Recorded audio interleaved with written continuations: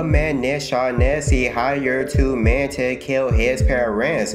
Corey Shaughnessy and Ted Shaughnessy. His parents were jeweler. They had a jewelry company. The burgers didn't take any jewelry.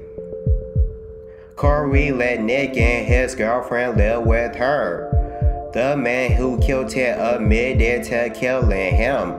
The hired killers went to prison. Nick's girlfriend, Jackie Edison, was involved in it. She didn't hire people to kill his parents, but she wanted his parents dead too. She shouldn't have went to jail for four months for conspiracy to murder in Travis County, Texas.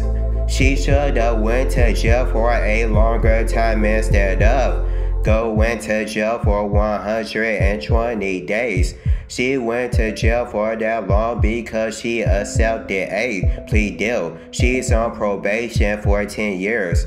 If she violates her probation, she'll face 20 years in prison. For her parole, she has to go to jail every year until Shaughnessy's murder anniversary. Nick and the other two men got sentenced to 35 years.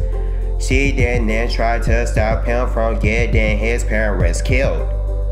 Although she said that she tried, she wanted his parents to die so her and Nick can get their money. Nick went on 48 hours and apologized to his mom for trying to get her killed. It's good that she doesn't want to talk with him again. She didn't accept his apology. She said that if she would have been dead, she wouldn't have been able to respond to his apology. She said that ghosts don't speak, so I understand why she said that. Nick was evil for one wanting to get his parents killed for money.